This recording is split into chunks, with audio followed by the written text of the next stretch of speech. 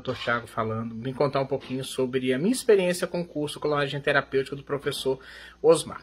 Eu acredito que esse curso é um divisor de águas, pois é, ele apresenta uma técnica bem inovadora, é uma técnica que ajuda bastante nos casos clínicos, é uma técnica, é uma técnica bem prática.